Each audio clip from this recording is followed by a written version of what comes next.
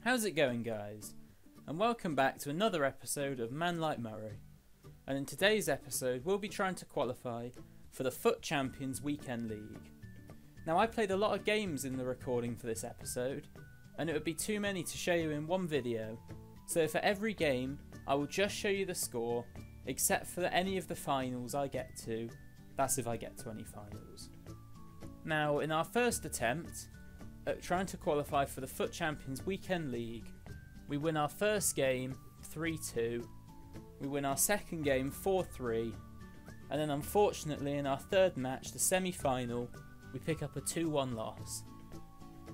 Then in attempt number 2, we win our first game 1 0, we win our second game 2 0, and we win our third game 3 1. And you know what that means? We're in the final. And now we move on into the final, and we see my opponent has a good Premier League side with the inform Andre Gray. And we would in fact take the lead as the ball's bobbling around the edge of the box. Knockaert manages to play the ball into Murray, and as he always does, he slots it away into the back of the net with an excellent finish, giving us a 1 0 lead in the final and taking us one step closer to the FUT Champions Weekend League.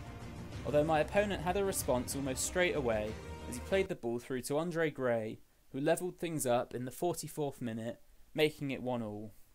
My opponent would in fact take the lead in the 51st minute as Lukaku slots the ball away well. But as always in this series, we had an answer, and Sanson plays the ball across to Costa, who levels things up not long after my opponent scored, in the 59th minute in fact, and gets us right back in the game. Now unfortunately from the kickoff my opponent passes the ball to Ander Herrera who finds the bottom corner with an excellent long shot and my keeper couldn't have done anything about that. And this guy takes a 3-2 lead and to wrap things up in the 67th minute my opponent plays the ball to Renato Sanchez who kills the game off making it 4-2 and unfortunately we would not qualify for FUT champions on this attempt. At this point, I decided to put that final loss behind us and move on to attempt number 3. And in game number 1, we picked up a 1 0 win, but unfortunately in the quarterfinals we lost 3 2 and had to try again. Then on my fourth attempt, I won game number 1 yet again, but this time it was a 3 2 win.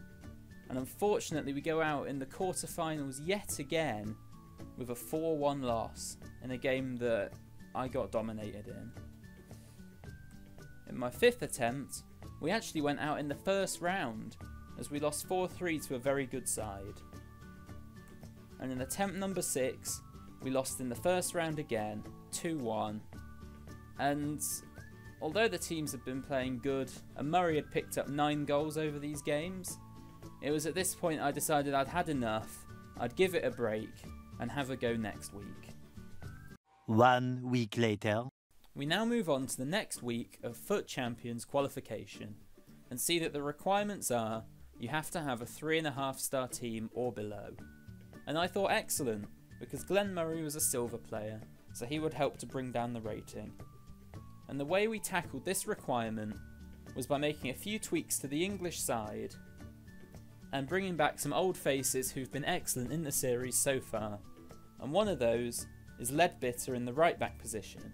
Then in the centre back positions, we use Connor Goldson and Lewis Dunk, the Brighton duo. In the left back position, we use Dickinson, who's got good pace and very well rounded stats for a left back, so I reckon he'll do a good job. And in the centre mid positions, we use Ryan Leonard, who has lots of pace, and Sinclair, who was excellent for us earlier in the series. And I believe this team will play amazing, as I know all these players are top quality and will outperform their overalls. Oh, and also we have Sturridge up top with Murray to add some extra pace. Now going into the first game we come up against a very low chemistry side and Daniel Sturridge gives us the lead with a volley on his right foot which is quite surprising although he's got very high finishing so you'd expect him to put the ball in the back of the net every time even on his weak foot and that's what he did there. We'd then double our lead as we whip a corner into Glenn Murray, who gets a glancing head across goal, putting us 2 0 up inside 15 minutes, and pretty much putting this game to bed before it had already begun. And it was at this point though my opponent decided he wanted to rage quit, as he thought there was no way back into the game. Now, as we go into game number two, we come up against a very low chemistry team with a load of bronze players, so I knew this game would be easy. And our first goal came as Daniel Sturridge whipped a ball into the box, which fell to Ross Barkley, who hit the shot on the turn, low with lots of power under the goalkeeper, giving us a 1 0 lead. And this guy's team was awful. I don't know how he'd got to the second round. He had loads of bronze players, they were all out of position, and they were all off of chemistry. And we would go 2 0 up in this game as the ball falls to Glenn Murray on the edge of the box, and he strikes the ball with loads of power on his left boot, so much so that it beats the goalkeeper. And Glenn Murray proves that his 3 star weak foot is a lie, because it feels like 5 star weak foot in game. And with shots like that, you can't argue with that logic. They, you would never guess a player with 3 star weak foot would have that sort of ability on their weaker foot. We then further our lead even more as Daniel Sturridge slots the ball past the goalkeeper in the 26th minute, making it 3 0. And this game was has been long over. This guy stood no chance, and I was highly surprised by the difference in quality of opponents in this tournament compared to last week's one. We then go 4 0 up as the ball falls to Sinclair, and at this point, my opponent decided he'd had enough because he'd just been scored on by a bronze player, and that's embarrassing for anyone who's got a team with gold players in it. And as I said, my opponent decided he'd had enough. We were 4 0 up inside 35 minutes, and DJ Moon decided to leave the game.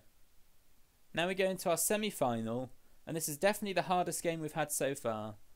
Although Daniel Sturridge was having none of it, as he broke through on goal early on, giving us a 1 0 lead, and Daniel Sturridge has been excellent in this team for us so far, and I may even consider taking him, in, him into Weekend League if we qualify for it. Sturridge then doubles our lead in the 62nd minute, and this guy had been a tough opponent until this point, but Sturridge is one of those strikers that when you get him through on goal, he'll always put the ball away because he seems to have impeccable finishing on his left foot. But we weren't done there.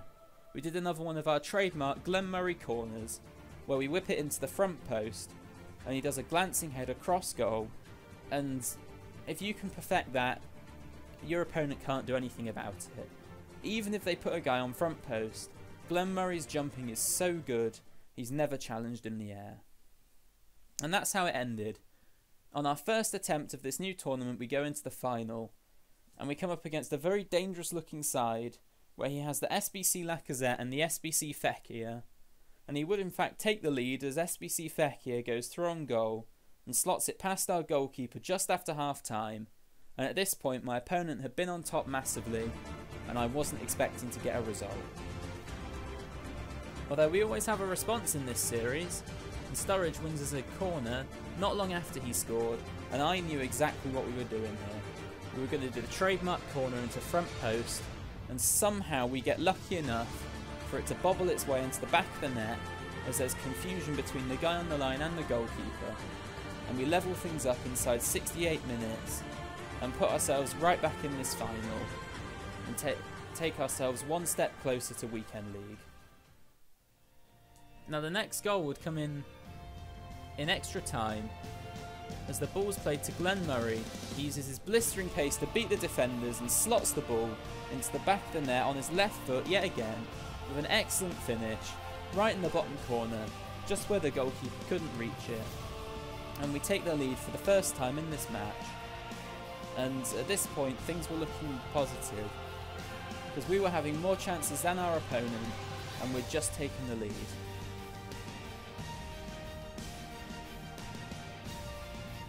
But we weren't done there. Sturridge goes through on goal late on and forces a good save out of the goalkeeper. And guess what? We win another corner. And you'll never guess what happens from here.